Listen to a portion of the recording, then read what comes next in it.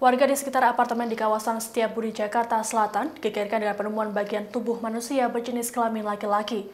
Polisi menyebut bahwa pria tersebut bukanlah korban mutilasi, melainkan pelaku bunuh diri.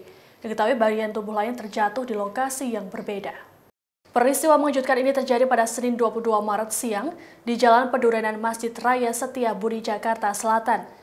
Dikutip dari tribunjakarta.com, Kapolsek Metro Setiabudi, AKBP Yorken Harus Baruno memastikan bahwa bagian tubuh manusia yang ditemukan warga bukanlah korban mutilasi. Yogen mengatakan bagian tubuh manusia itu merupakan milik seorang pria berinisial A. Polisi menduga pria berusia 27 tahun itu tewas karena bunuh diri dari lantai 23 apartemen. Yuken menjelaskan A melompat dari balkon di lantai 23 dan membentur beton di lantai 6. Hal ini yang membuat tubuhnya terpisah menjadi dua bagian. Bagian kaki terjatuh di atas tenda gerobak pedagang nasi goreng, sedangkan bagian tubuh lainnya berupa tubuh dan kepala jatuh di dekat basement apartemen. Sementara itu, seorang saksi mata menyebut dirinya sempat mendengar bunyi seperti ledakan di dekat lokasi. Saat diperiksa, ternyata potongan kaki manusia yang jatuh. Polisi kemudian segera datang ke lokasi untuk melakukan evakuasi. Bukan hanya itu, garis polisi juga dipasang di sekitar lokasi untuk proses penyidikan.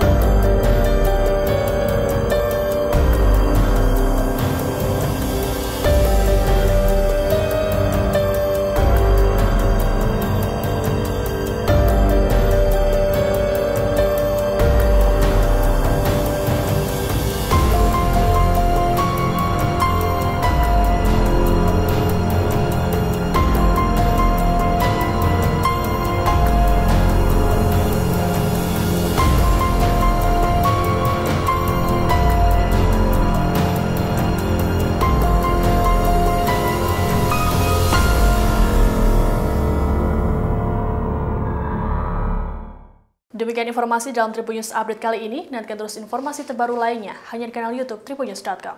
Terima kasih sudah nonton. Jangan lupa like, subscribe, dan share ya.